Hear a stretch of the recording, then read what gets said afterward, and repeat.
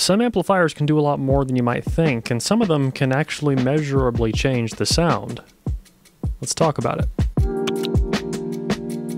This is the Sennheiser HDV820, a balanced DAC amp. It's not cheap at all by any means, but I think it's a perfect example of how an amplifier can measurably change the frequency response of certain headphones. But I also want to take this as a chance to talk a little bit more about output impedance and why it's not necessarily a good or a bad thing. First, I'm going to go over the build and I/O of this thing, and then we'll get into some more details about sound. On the back here, well, we have XLR and RCA in, and you'll notice on the RCA in there's a little gain adjuster. It's kind of interesting. You don't see that very often. You also have USB optical and coax in, and then you have XLR outputs that can be used as a preamp. Something to note about these outputs is that they are on all the time, whether you have a headphone plugged in or not, those preamps are putting out a signal. Then a standard power connector. On the front, you have quarter inch for your single ended connections, you have 4 pin XLR for balanced, and then two 4.4 millimeter connectors. Those are balanced and you can use them at the same time. Multiple people could listen to headphones together. You also have a very satisfying illuminated power button. It's very nice, clicky, but also soft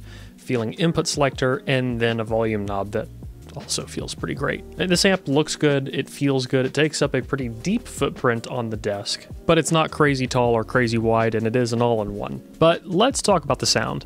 This has an output impedance of 40 ohms. That's pretty high output impedance. And you see people talking about how that affects the damping factor. You'll see people talk about how it will change a headphone's frequency response in cases. Impedance is a relationship of voltage and current. Current is the actual movement of electrons through a circuit, while voltage is what we usually think of when we talk about electricity. We usually don't have to think about current in headphones because most amplifiers supply a constant voltage, meaning when we look at the frequency response, we're looking at output for a given voltage. The thing is, all headphones have a load impedance, which determines how much current is actually flowing at different frequencies. This starts to matter when our amplifier has a higher output impedance, because that limits the amount of current which can flow for a given voltage. The low impedance parts of a headphone's frequency response, the ones which take more current for the same voltage, because impedance is voltage times current, will get quieter relative to the high impedance parts. Let's take the HD6XX as an example.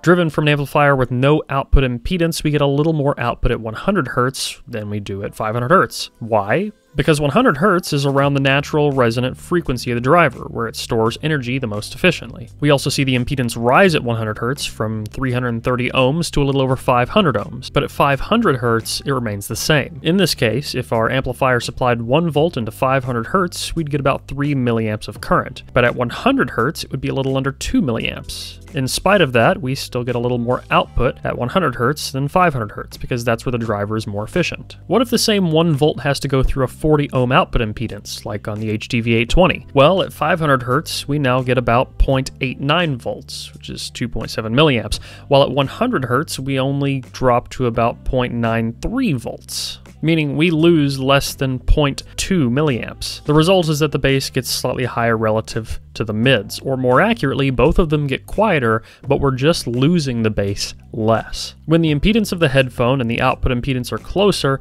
this effect gets bigger. That relationship is usually referred to as damping factor, which comes from the fact that there are large impedance rises on the resonant frequencies of drivers.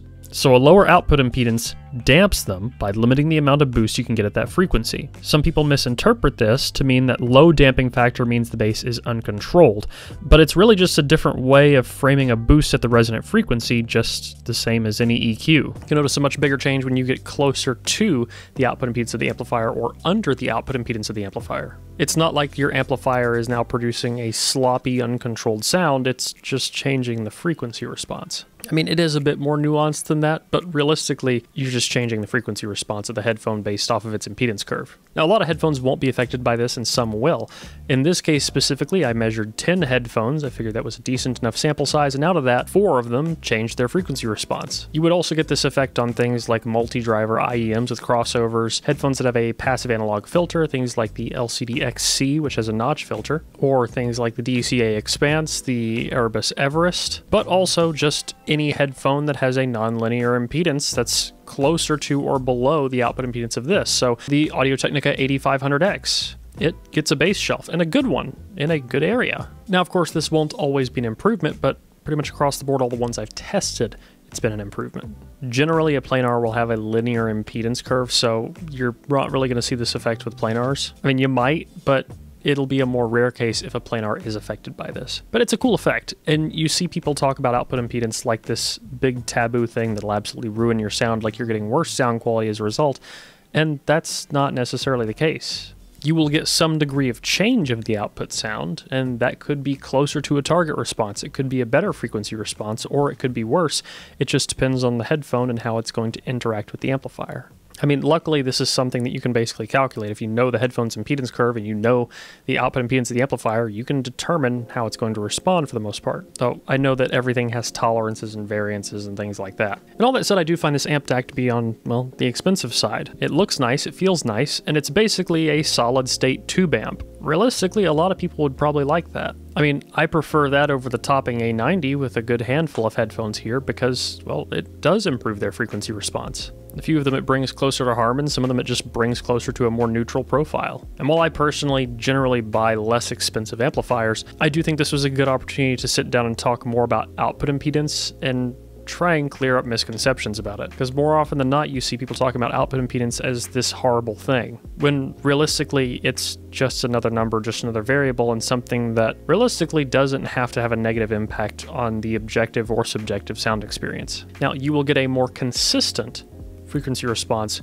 with a low output impedance. But a more consistent one doesn't necessarily mean a better one, depending on the headphones you own. Outside of that, this is a pretty powerful amp. I've enjoyed using it. I appreciate the guys at Sennheiser letting me borrow it. And of course, I think it pairs well with the things that they make. The HD800S, I think, is a no-brainer for it, though it definitely has more power than the HD800S needs. This thing could drive planars pretty easily, and the 800S I really never ended up turning up that loud. But other things like the 660S2, the HD6XX, they all paired well. It gave me a little bit of that tubey sort of experience. Again, this sounds like a solid state tube amp, but without the distortion. It's kind of the best of both worlds in a way. Getting the frequency response change of a tube amp, but not getting the distortion of a tube amp. You would think there would be a bigger market for things like that. Then again, Sennheiser makes it so people must be buying it. Which, speaking of that, let me know if you want a really, really in depth video about output impedance, how it works, and its kind of interrelationship between headphones, IEMs, amps, and all that.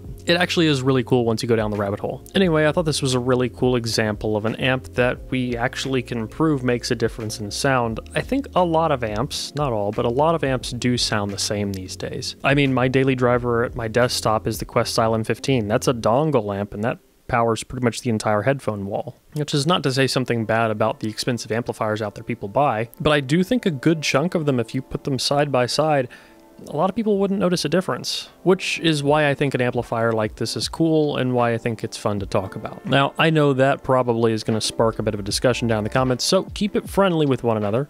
Let's enjoy the hobby together. If you have differences of opinion, that's cool. Express them respectfully with one another. In fact, a great place to do that is probably over in our community, either on the forum or in the Discord link in the video description. If you guys see me in there, I'd love to talk with you about it. But I think for now, I'm going to go back to listening to some very fun headphones sitting over on my desk. A few people on the headphone show and myself are working on a tier list. I know, a tier list the absolute peak of YouTube content, the pinnacle, absolute summit fi. We'll probably post that in like a week or two, and it's going to go over a lot of things that are currently on the market, ranking them best to worst, the things we like, the things we don't, and why. So make sure you stick around, subscribe, click that button down below because you don't want to miss that. If you really don't want to miss it, turn on notifications. Other than that, I think it's time we wrapped up this video, so let's do a quick conclusion. Sennheiser HDV820, a pretty expensive DAC amp, but one that is definitely unique in its function. It acts like a tube amp in terms of how it can change the frequency response, but without the distortion of a tube amp and with the power at low impedance of a solid state amplifier.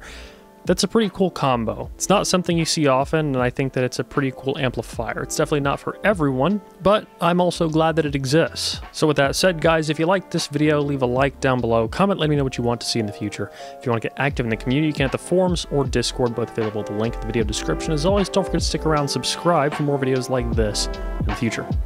Until next one, guys. Peace.